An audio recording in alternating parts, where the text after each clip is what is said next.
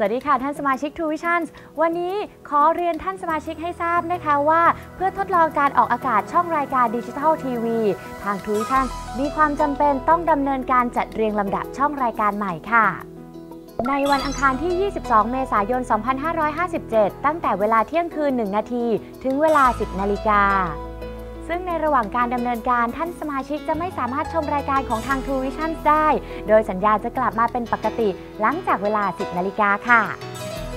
ทั้งนี้หากท่านสมาชิกยังไม่สามารถรับชมรายการต่างๆ ได้ ท่านสมาชิกสามารถแก้ไขปัญหาการรับชมเบื้องต้นได้ด้วยตนเอง โดยการถอดปลั๊กเครื่องรับสัญญาณ แล้วเสียบใหม่อีกครั้ง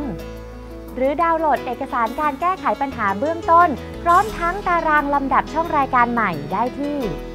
www.tuitionsgroup.com หรือ www.tuitionstv.com/home.aspx